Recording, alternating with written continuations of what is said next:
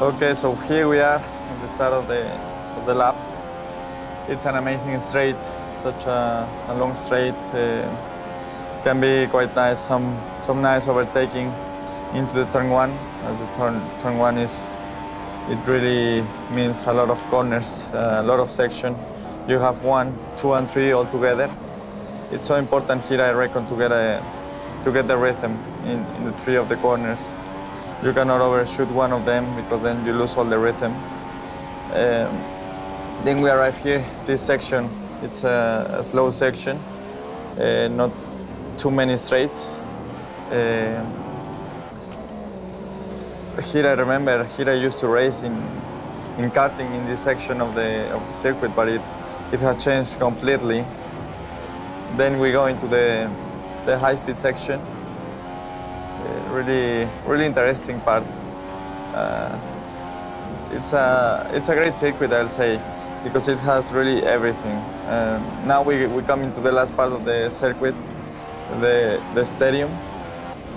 Uh, it's just amazing. I mean, to see the the grandstand just just just there before braking, it will be it will be really really a, an experience for myself. And uh, yeah, here we are going into the ex-Peraltada. Uh, still a bit of the Peraltada left, left in there, but uh, not quite uh, as much as, as before.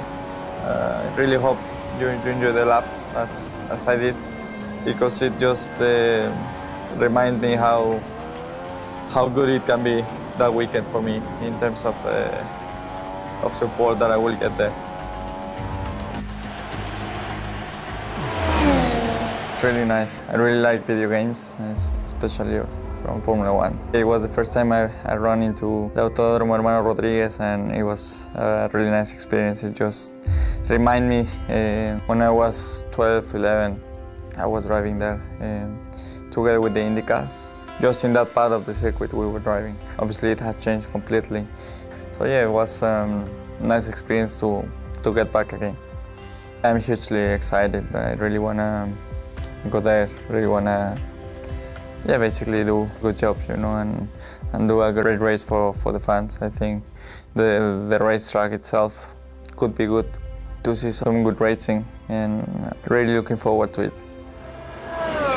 I'll try to, to use it to just to memorize the circuit as much as possible so when we get there we don't really lose too much time learning the circuit.